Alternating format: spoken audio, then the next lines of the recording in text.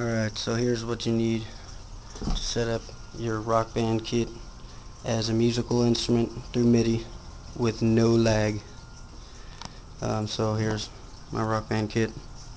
Uh, first of all you need the Xbox 360 wireless receiver, uh, USB receiver, and then you need some softwares which um, currently I'm using FL Studios as my host program um, for audio um, and then for the interface to interface the controller to the audio software I'm using RB2 MIDI. If you need to download it just google it and you'll find it. And then you actually have to link that to another software which is called LoopBE1 it's a free software. Google it. And then I'll show you how to set it up real quick. And then you run that software into your digital audio workstation. So first of all, um, after you get the wireless uh, receiver connected to your computer, get the drivers properly installed to where it recognizes it, sync your controller up to uh, the wireless device, and then you'll install the RB2 MIDI software, which looks like this, and once it's installed, first go to input, and it should show um, controller Xbox 360 for Windows. Right there if you can see it. Yeah, it's kind of blurry. Um, and then you select that for your input. For output you're gonna select loop BE internal MIDI. That's the other software I just spoke of.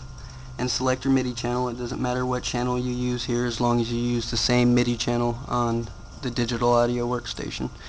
And then of course you'll have the, the pads and everything um, you can configure them the way you like to. It supports double pedals. You can either use the second pedal as a second kick or hi-hat control.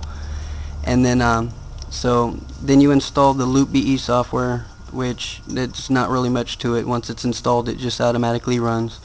And then um, the digital audio workstation of your choice, which, as I said, in this case, I'm using FL Studios, uh, Producer Edition 10 and whoops I shouldn't have launched the second version of that. Okay anyways um, what the heck happened? Okay there we go.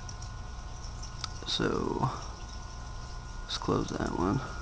Alright so here's the one that I got up and running and then um, you don't actually have to use audio addictive drums I just use it because it sounds real realistic but you can actually link it with any sampler and all you got to do in FL Studios to get your MIDI working. Just go to Options, MIDI Settings, select the uh, Loop BE internal MIDI, click Enable, select your channel of course. And here's the finicky part. Oh yeah, I forgot to, to mention one more software that you need. It's called ASIO4ALL, also a free software. Google it. And that's where it gets a little tricky because that's where you control the latency issue.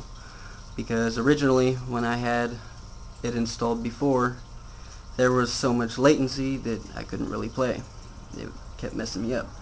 But after a little bit of, you know, figuring out, you know, the proper settings and whatnot, I was able to get it working. And as you can see, it has very little latency to no latency.